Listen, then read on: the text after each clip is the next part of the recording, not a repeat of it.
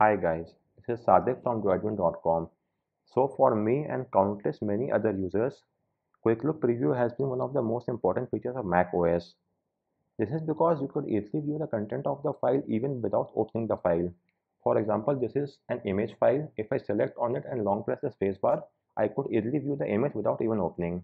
And the same is true for videos as well. Just select the video file and long press the spacebar and you could see the video. However, as of now, this feature is not working for many Mac OS users, especially on Mac OS Monterey. If you are also on the same page, then this video shall help you out. So let's get started. First and foremost, you will have to open the Launchpad, then go to the Others folder and launch Activity Monitor. Now open my guide. I will give the link in the description as well and copy this activity name, Quick Look UI Service Finder copy it and then paste it in the search bar. As soon as you do so you would see the result. So select quick look ui service finder and hit the cross button. Then select force quit and as soon as you do so the issue should be fixed.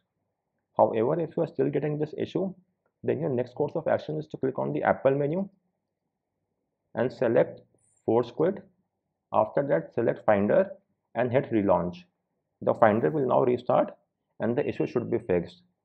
If for some reason the issue is still there, then your last course of action is to delete the cache data of Finder. For that, go to Launchpad, open the Others folder, and then launch terminal window. Then you will have to copy paste this command to delete all the cache of the Finder window. So as soon as you do so, the call has reset on cache. This means the cache has been deleted and with this the issue should be fixed. So guys these were the three different fixes that shall help you rectify the issue of quick look preview not working in mac os monterey. If you have any queries do let me know in the comment section. And please subscribe to this channel for more tips and tricks. Thanks for watching